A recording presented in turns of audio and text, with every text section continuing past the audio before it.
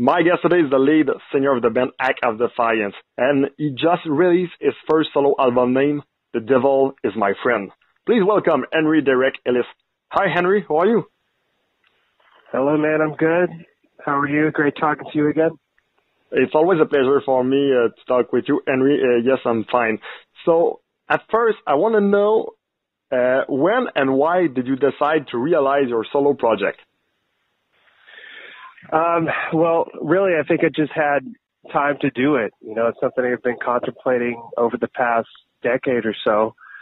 Um, and I had like a year off pretty much.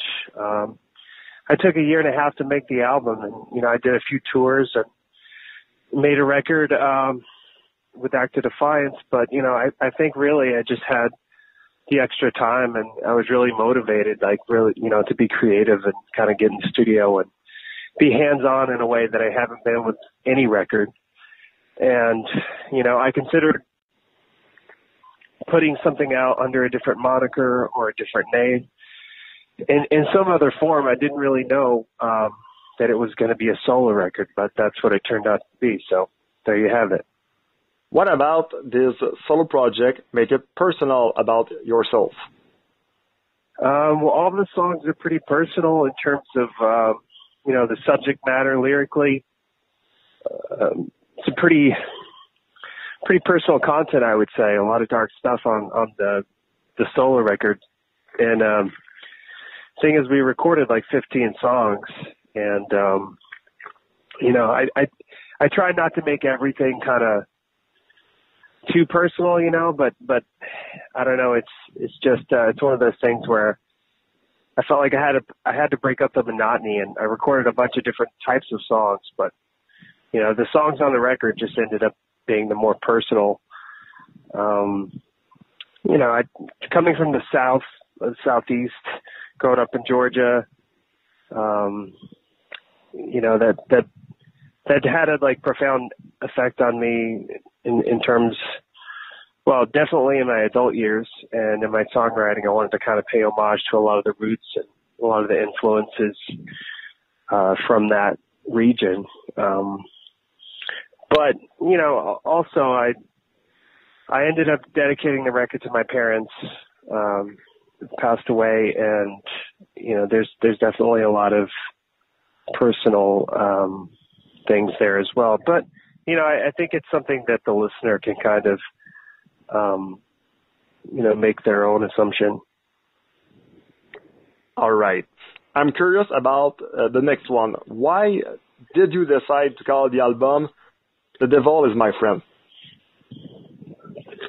Um, well, the title track "The Devil Is My Friend" is a murder ballad, and um, I've always loved you know, like old traditional folk songs and old country songs. It's not something you hear very often, but um, it's something that I think is missing in the you know current like I don't know, modern music. I would say, um, and really like it's it's kind of based lyrically. It's kind of based on on kind of a loner, uh, uh, almost um, vagabond kind of character who goes around um, making his own rules and perhaps killing women. I don't know. It maybe maybe in some way it was influenced by like serial killers or you know uh, some kind of uh, you know. Uh,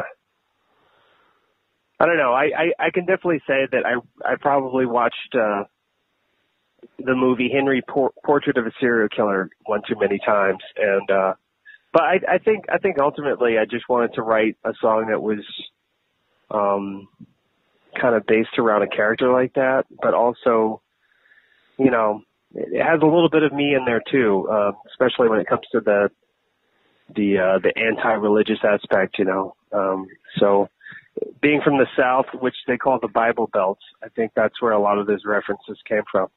It's a, a form of provocation. Yes. I read that you were raised by uh, your grandmother and that uh, when you were young, you grew up next to the Central State Hospital, an hospital known as the largest psychiatric facility in the world. How did this life experience change your vision of the world in which we live? Um, well, it was a pretty horrific experience overall growing up in that environment. Um, you know, can't you don't quite understand it at an early age, but I think it helped shape my um, personality for sure. You know, and especially in terms of having sympathy and empathy for people, and really, you know, being more considerate of of others, especially you know when it comes to addiction and mental illness and things of that nature. And these are these are things that people are very sensitive about, and I feel like people don't like talking about them. It makes them very uncomfortable. But for me, you know, it, I'm quite comfortable talking about those things. Uh, growing up in that environment, I think that's that's probably how it. That's probably in that way it affected me the most. I would say. Okay. For the person who have listened the album, I think we can say that this album sounds like a folk, uh, southern uh, gothic with tragic theme. Uh, can you explain why you decide to produce an album following this style of song and lyrics? Because for everybody, uh, know uh, your song with Act of Defiance or uh, with uh, Scar the Martyr, it sounds uh, so different. Yeah, well, it has nothing in common with with anything else that I've done.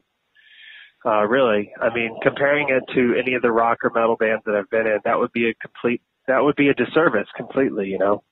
So I I, I would not. Uh, I would definitely say, you know, the listener would have to have an open mind, but at the same time, you know, it's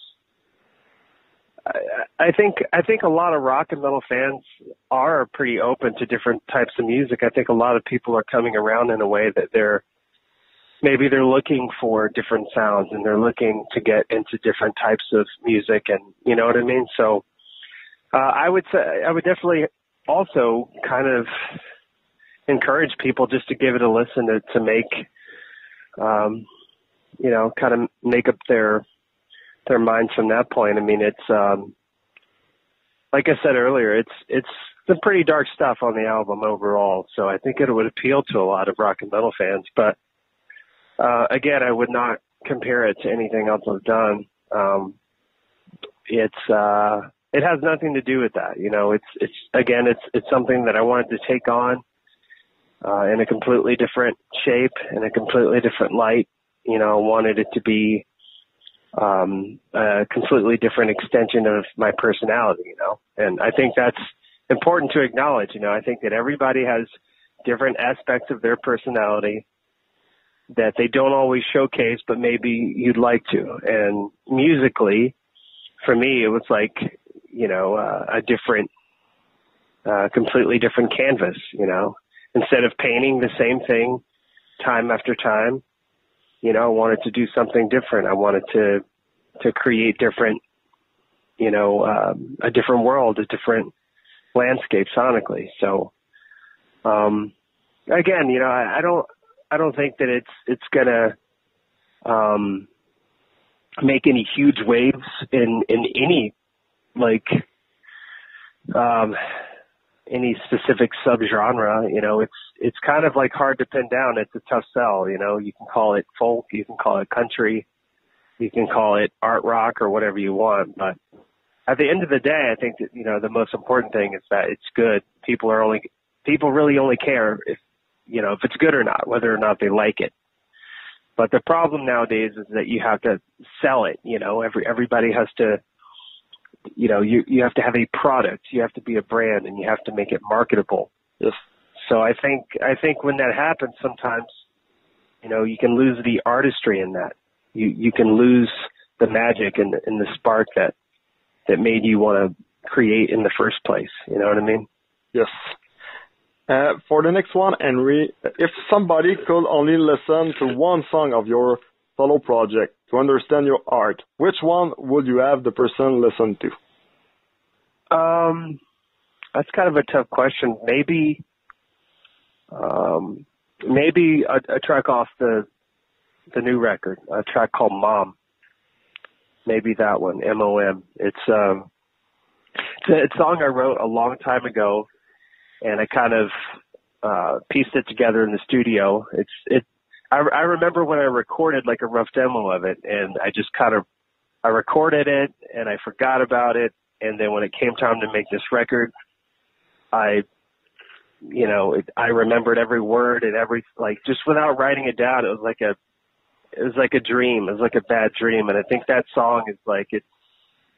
I don't know. It it kind of encapsulates uh, like the blue, like the dark folk element with the you know kind of has the bluesy tone to it, but it's really dark too. It goes it goes you can go down the rabbit hole with that song, and I think it goes to some pretty dark places. You know, there's there's definitely a lot of like acoustic guitars kind of interwoven um, throughout the bridge part, which um, it's almost like a yeah, I don't know. It's it's it's an interesting song. So I think if anyone were to really be curious as to how my brain works, uh, you know, check out that track. Do you plan uh, to do a second album on your solo project, or one is enough? Uh, no, I can. I I plan to uh, to do a second record, and and uh, you know, I quite honestly, I I hope that I can uh, continue making uh, my own music like this. Um, I would like to, um, but you know, of course, that would require really just finding a label that believes in what I do.